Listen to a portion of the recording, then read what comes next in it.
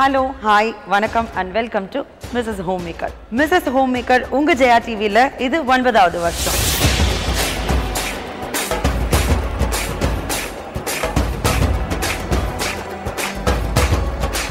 Mrs home maker ஒரு reality ஷோங்க இப்போ நிறைய பிரபலங்களை வச்சு நிறைய ரியாலிட்டி ஷோஸ் பண்ணுறாங்க ஆனால் எங்களுடைய மிஸ்ஸஸ் ஹோம் மேக்கரில் என்ன தெரியுமா ஸ்பெஷல் ஒன்றுமே தெரியாத ஒரு ஹவுஸ் ஒய்ஃபை கூட்டிகிட்டு வந்து இந்த மிஸ்ஸஸ் ஹோம் மேக்கர் நிகழ்ச்சியில் பல போட்டி நிகழ்ச்சியில் அதுவும் கலந்துக்க வச்சு அவங்களுக்கு ஒரு ஒரு புதிய மாற்றத்தை கொண்டு வரோம் பார்த்தீங்களா அதுதாங்க ஸ்பெஷல்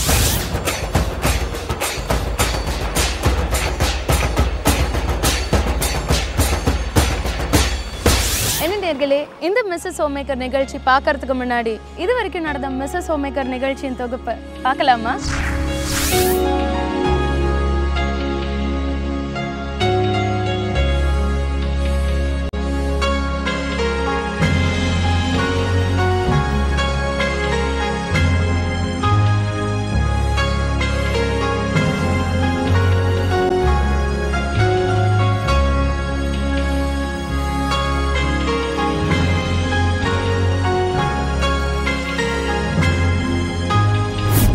ஹோம் மேக்கருடைய தொகுப்பினை பார்க்கறதுக்கு முன்னாடி மிஸ்ஸஸ் ஹோம்மேக்கர் ப்ரோக்ராம் ஏன் உருவாச்சு? எதுக்கு உருவாச்சுன்றதை பற்றி நான் அவங்களோட பேச ஆசைப்பட்றேன். நம்மளுடைய குழந்தைங்களை நம்ம காம்படிஷன்ஸ்க்கு அனுப்புகிறோம் அந்த காம்படிஷன்ஸில் குழந்தைங்க ஜெயிச்சு வரும்போது நாம் அவங்களுடைய சந்தோஷத்தை நம்மளுடைய சந்தோஷமாக நினச்சி கைத்தட்டி ஒரு தாயாக சந்தோஷப்படுறோம். கணவர் பல புதிய முயற்சிகளை செய்யும்போது அவர்களுக்கு உற்சாகப்படுத்தியும் அவர்களுக்கு ஆதரவாக இருந்தோம் அவருடைய சந்தோஷத்தை நம்மளுடைய சந்தோஷமாக நினச்சி ஒரு மனைவியாக நின்று சந்தோஷப்படுறோம். நம்மளுடைய உற்றார் உறவினர் மற்றும் பல உறவுகள் எல்லாரையும் அரவணைச்சு நம்மளுடைய குடும்ப சந்தோஷம்தான் நம்மளுடைய சந்தோஷம்னு நினச்சி ஒரு குடும்ப தலைவியாக நின்று சந்தோஷப்படுறோம். இப்படி அத்தனை பேருடைய தனித்திறமைகளையும் பார்த்து சந்தோஷப்படுற நம்மளுடைய இல்லத்தரசிகளுடைய தனித்திறமைகளை யாராவது பாராட்டியிருக்காங்களா? சிந்திக்கிறாங்களா? சந்தோஷப்படுறாங்களா? ஏன் நம்ம இல்லத்தரசிகளே அதை பற்றி யோசிக்கிறாங்களா? இப்படி எல்லாத்தையும் யோசிக்க வைக்கிறது தாங்க நம்ம மிஸ்ஸஸ் ஹோம்மேக்கர் ப்ரோக்ராம். அது மட்டும் இல்லைங்க மிஸ்ஸஸ் ஹோம்மேக்கர் ப்ரோக்ராம் நம்ம ஜெயா டிவியில் ஒரு ரியாலிட்டி ஷோவாக வரும்போது நம்மளுடைய இல்லத்தரசிகளுடைய தனித்திறமைகள் எல்லாமே உலக அளவில் தெரிய வருது. இது ரொம்ப சந்தோஷப்பட வேண்டிய ஒரு விஷயம் தானே இவ்வளோ நேரமாக நான் வந்து இல்லத்தரசிகளுடைய தனித்திறமையை பற்றி பேசிகிட்டு இருந்தேன் இல்லைங்களா? இப்போ நீங்கள் அவங்களுடைய தனித்திறமைகள் அவங்களுடைய சந்தோஷம் அவங்களுடைய நட்பு எல்லாத்தையும் கலந்து பார்க்க போகிறீங்க I am sure you're also going to enjoy it வாங்க போய் பார்க்கலாம்.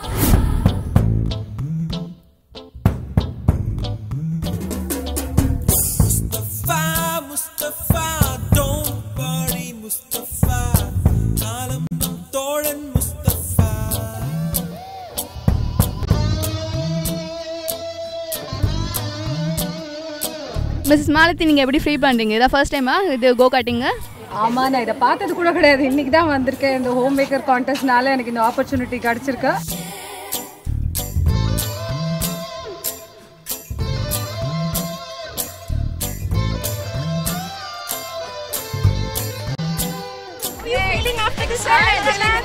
Proud. I'm so happy I'm on TV and I'm really home. And my housewives and சொன்னது போய் homemakers and a beautiful words.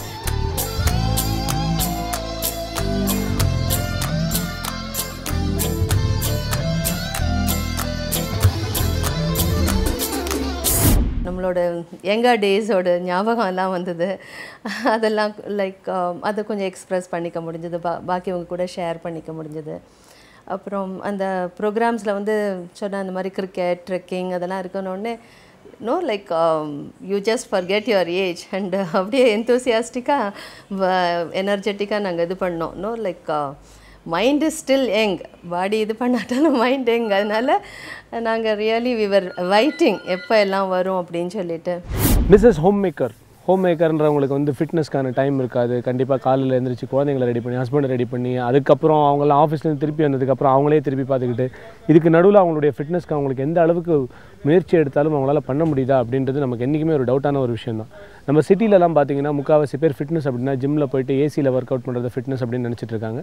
But என்ன தான் எஃபெக்டிவாக அவ்வளோ ஒர்க் பண்ணால் கூட நேச்சுரல் ஃபிட்னஸ் அப்படின்னு ஒன்று இருக்குது அந்த நேச்சுரல் ஃபிட்டான ஒரு எபிலிட்டி ஒரு ஹோம் மேக்கருக்கு இருந்தால் அது இருந்துச்சு அப்படின்னா ஆட்டோமேட்டிக்கலி அவங்க ஃபேமிலிக்கும் அது நல்லது. ஏன்னா எந்த ஒரு சுச்சுவேஷன்லையும் அவங்க உடம்பு ஸ்ட்ராங்காக இருந்தால் மைண்டும் ஸ்ட்ராங்காக இருக்கும்.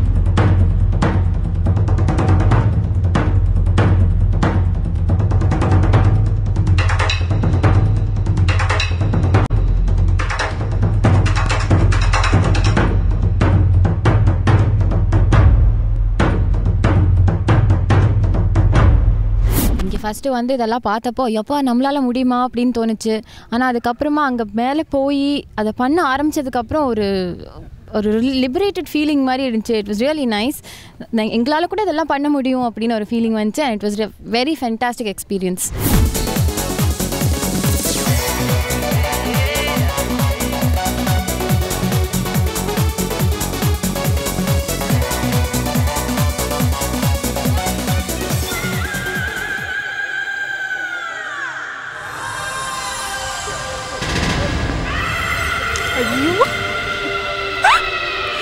बाद में वर्क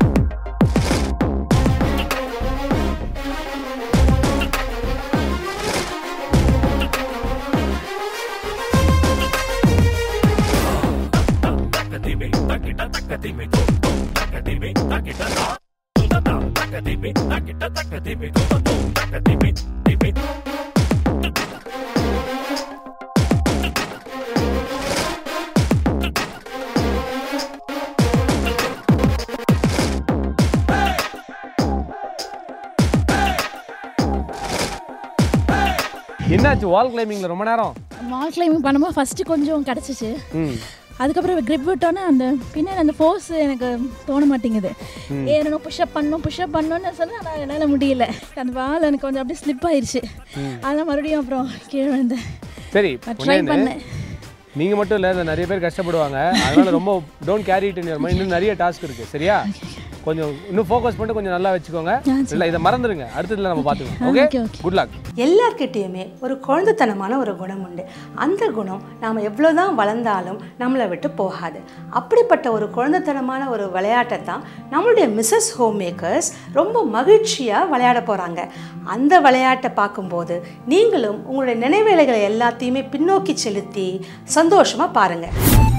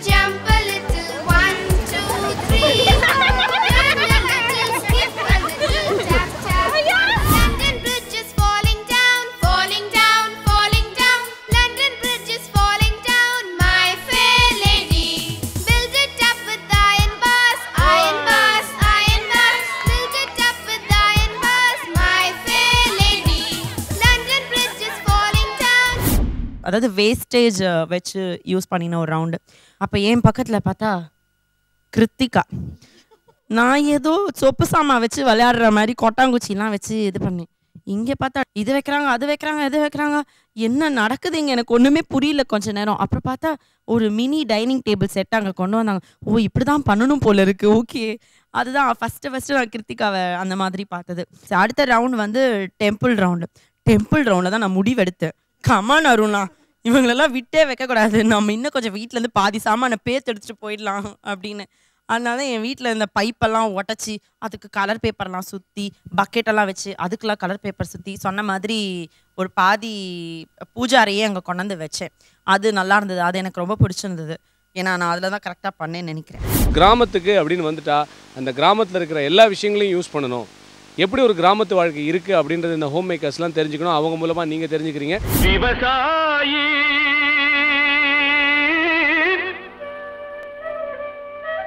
விவசாயி. கடவுள் என்னும் முதலாளி கண்டெடுத்த தொழிலாளி விவசாயி விவசாயி.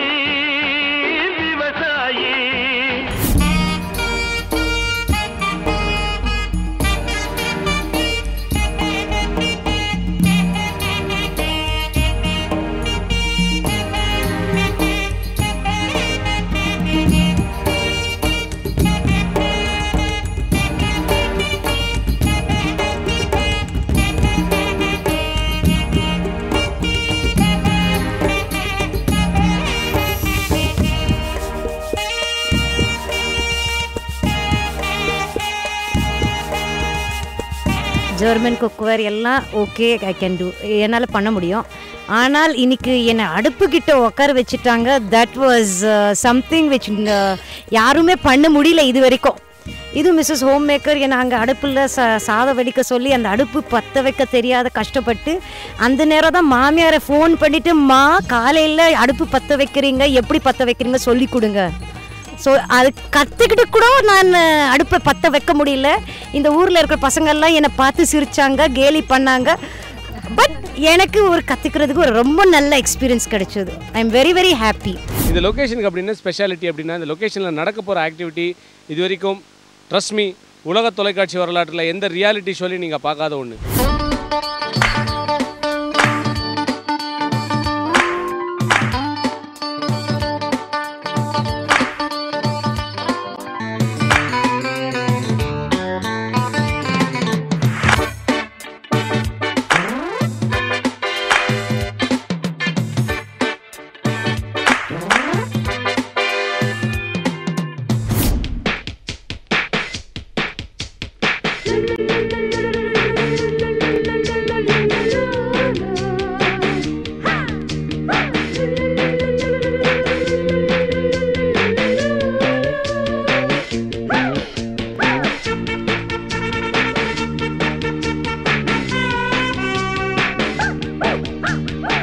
என்னை ஆல்மோஸ்ட் உதச்சிருச்சு இப்போ தப்பிச்சிட்டேன் ரொம்ப ஃபன்னாக இருந்தது. First time in my life I'm taking part in such contest adventure round அங்கே தான் போச்சு எல்லாம். ரொம்ப பயமாக இருந்தது. ஃபிஃப்டி ஒன் ஃபீட் ஹைலேருந்து நம்மளுக்கு கீழே அப்படியே போட்டாங்க கீழே. ஸோ அதில் ஹார்ட் அட்டாக் தான் வரல. ஸோ அது தெரிஞ்சிச்சு we are fit fit for everything you know we are totally completely fit for any rounds in our life Mrs homemaker audition ரவுண்டில் ஒரு சுவையான சம்பவம் நடந்தது. ஆடிஷன் ரவுண்டில் நாங்கள் எல்லா லேடிஸ்க்குமே ஒரு சுச்சுவேஷன் ரவுண்ட் கொடுத்து அவங்கள பதில் சொல்ல சொல்லுவோம். அப்படி சொல்லும்போது ஒரு பெண்மணி ரொம்ப யதார்த்தமாக அழகாக பதில் சொன்னாங்க. அதை கேட்டுட்டு இருந்த நாங்கள் எல்லாருமே ரசித்து சிரித்தோம் நாங்கள் எல்லாரும் ரசித்த மாதிரி. கண்டிப்பாக நீங்களும் ரசிக்க போகிறீங்க பாருங்கள் பேர்? பேர் Kamala. Kamala. Number number thirty four thirty four பாட்டா டான்ஸா பாட்டு தாங்க ஏதோ பாடிட்டு போலான்னு வந்திருக்கேன் நாங்கள் ஒன்று இந்த இடத்துல பாட்டு கேட்கணும்லாம் உட்காந்து இல்லைம்மா. நீங்க எப்படி இருந்தாலும் கிண்டல் பண்ணுவீங்க. நாங்கள் எங்கம்மா கிண்டல் பண்ணுறோம் see we are putting you under situation நீங்கள் எப்படி அதுக்கு ரியாக்ட் பண்ணுறீங்கன்னு பார்க்கணும்ல. சரி பாடுங்க. நாங்க எதுவுமே கேஷுவலாக தான் எடுத்துக்கோங்க. எடுத்துக்காது நாங்கள் மட்டும் நீங்கள் பாடுறது சீரியஸாக எடுத்துக்கிறோம். எட்டு மணிக்கு ஃப்ளைட்டு போகணும்னு சொன்னீங்க இல்லையா? அது பாடி முடிச்சிட்டு போறோம். எனக்கு தன்னம்பிக்கை ஜாஸ்திமா போயிடுவேன் எங்கேயும் எப்போதும் சங்கீதம் சந்தோஷம். ராத்திரிகள் வந்துவிட்டால் சாத்திரங்கள் ஓடிவிடும். கட்டழகு பெண்ணிருக்கு வட்டமிடும். பாட்டிருக்கு தொட்டையிடும். அத்தனையும் இன்பமின்றி துன்பமில்லை ராராரீ ஓய். எங்கேயும் எப்போதும் சங்கீதம் சந்தோஷம். வேற பாட்டு. வேற பாட்டா? ராத்திரியில் பூத்திருக்கும் தாமரைதான் பெண்ணும் ராஜசுகம் தேடி வர தூதுவிடும் கண்ணம் வேர்ல்டுலேயே உங்களுக்கு ஒரு ரெக்கார்ட் இருக்கு இப்போ. எங்கேயும் எப்போதும் சரி ராத்திரியில் பூத்திருக்கும் சரி ரெண்டு பாட்டையும் ஒரே மாதிரி பாடின ஒரே ஆள் நீங்க தான். பாட தெரியாதுன்னு சொல்ல உங்களோட இசைக்கு முன்னாடி இந்த பாண்டிய நாடே அடிமை. எப்படி உங்களால அது முடிஞ்சது? ஏங்க ஏதோ ஒரு டேலண்ட் நீங்க ஒண்ணு தெரியுமா? நீங்க சிம்பிளா நான் வந்து வசனம் பேச போறேன் அப்படின்னு சொல்லிட்டீங்கன்னா நாங்க எல்லாருமே ஓகேன்னு கிளாப் பண்ணிருப்போம். ஏதாவது மியூசிக் போட்டிருக்கலாம்ல? ஏங்க மியூசிக் ஷூட்டி போறதுக்கு நீங்க எதுக்குங்க? நாங்க பாடுவோம் மியூசிக் போட்டிருந்தீங்கன்னா ஒண்ணும் தெரியாது இல்லையா உங்களுக்கு? ஓ சரி பாட்டு ஏதோ ஓடுது அப்படின்னாவது நீங்க நினைப்பீங்க நாங்க அந்த அளவுக்கு காதுல பூ வச்சு சென்னையில இருந்து கிளம்பி வரல. அப்புறம் நாங்க டான்ஸுக்கு சிடி கேட்டோம்னா ரித்திக் ரோஷன் அதை போட்டு காமிச்சிருவீங்க. பாருங்க டான்ஸ் சிடி தானே கேட்டீங்க அப்படின்னு. இல்ல இல்ல அப்படிலாம் போட மாட்டாங்க. நான் பரவாயில்ல. சரி இதெல்லாம் இதுதான் உங்களுடைய தனித்திறமை நினைக்கிறீங்களா நீங்க? தனித்திறமையான நல்லா ஃப்ரெண்ட்ஸுங்க ஜாலியா அரட்டை அடிச்சு பேசி அதெல்லாம் நாங்க வந்து பார்த்துன்னு இருக்க முடியாதும்மா. இந்த இடத்துல என்ன பண்ணுவீங்க? வேற?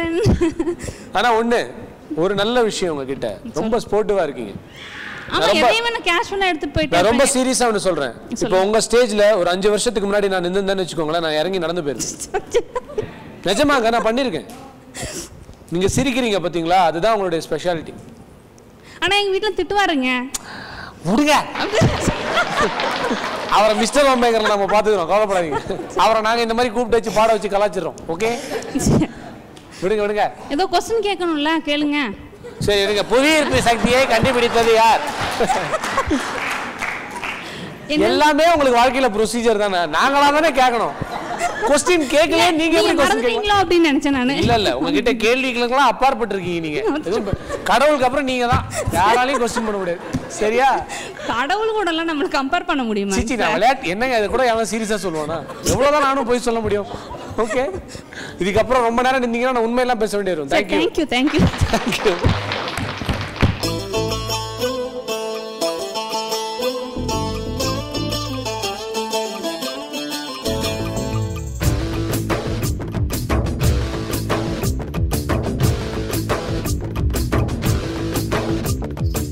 யூஸ்வலாக தனியாக வந்து பண்ணிக்கிறது இல்லாமல் இன்னைக்கு நிறைய பேரோட வந்து எங்கள் ஃப்ரெண்ட்ஸ் கூட வந்து பண்ணுறது இந்த மாதிரி ப்ரொஃபஷ்னலாக மேக்கப் எல்லாம் போட்டு ரொம்ப டிஃப்ரெண்ட்டாக கொஞ்சம் அழகாகவே தெரியுறோன்னு நினைக்கிறேன் நான்.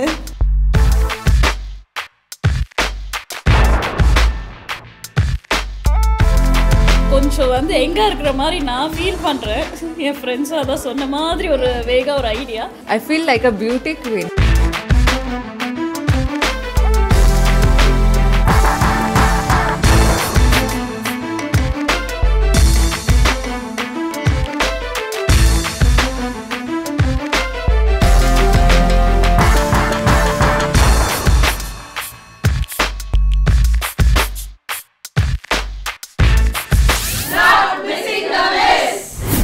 first என்னை மைக்கை பிடிச்சி பேச சொன்னபோது நான் எவ்வளோ பயந்தேன்றது எனக்கு தான் தெரியும். நான் பட் இப்போ வந்து ஒவ்வொரு ரவுண்டும் போக போக போக சே ஒன்றுமே இல்லை. நம்ம அனாவசியமாக பயந்துட்டு இருக்கோம். எல்லாரும் எப்படி எல்லாரும் என்ன மாதிரி தான் மனசில் நினச்சிட்டு இருப்பாங்க. நம்ம அது வந்து அவங்களது ஃபேஸில் தெரியல பட் என்னோடது ஃபேஸில் தெரியும் அவ்வளோதான் அந்த ஒரு பயத்தில் இருந்தேன் பட் இப்போ வந்து ஒரு நல்ல ஃப்ரெண்டு நல்ல ஒரு என்ன சொல்கிறது ஒரு குடும்பமாகவே ஆயிட்டோன்ற மாதிரி எனக்கு ஒரு ஃபீலிங்காக இருக்குது நான் ரொம்ப என்ஜாய் பண்ணேன் இந்த இது ஃபுல்லாகவே ரொம்ப ஹாப்பியாக இருக்குது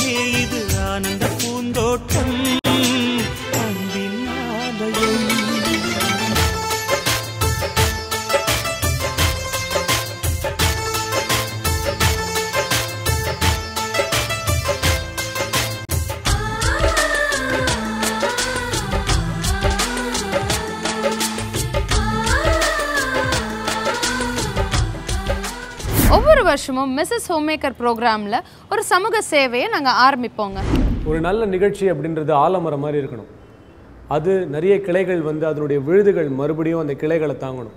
இந்த விழுதுகள் அப்படின்னு நாங்கள் சொல்கிறது என்னென்னா தன்னை வளர்த்த பூமிக்கு தான் ஏதாவது ஒன்று பண்ணணும்னு ஒவ்வொரு விழுதும் ஆசைப்படும். தன்னுடைய வீடு தன்னுடைய குடும்பம் தன்னுடைய சுற்றம் இது எல்லாத்தையும் மீறி சமூக நலன்ல அக்கறை கொண்டு இல்லத்தரசிகள் எல்லாரும் மிஸ்ஸஸ் ஹோம் மேக்கர் நிகழ்ச்சி மூலமா வருஷந்தோறும் பல நல்ல காரியங்களை செஞ்சுட்டு வராங்க. அது என்னன்னு பாருங்களேன்.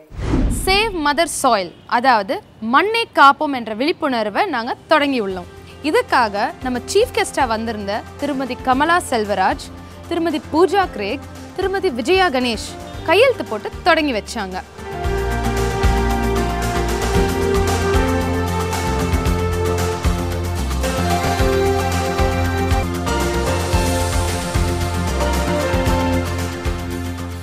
இவங்களை தொடர்ந்து சுமார் ஒரு லட்சம் பேர் உறுதிமொழி எடுத்து கையெழுத்து போட்டிருக்கிறாங்க.